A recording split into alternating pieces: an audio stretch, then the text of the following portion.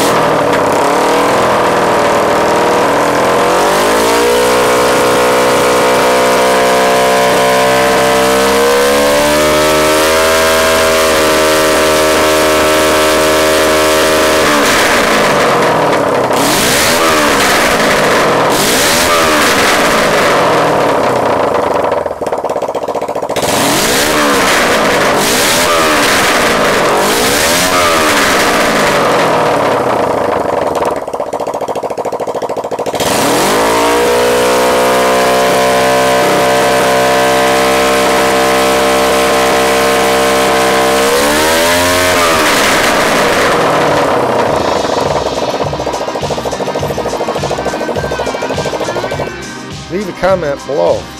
Like it. Share it. Thanks for watching and we'll see you next time.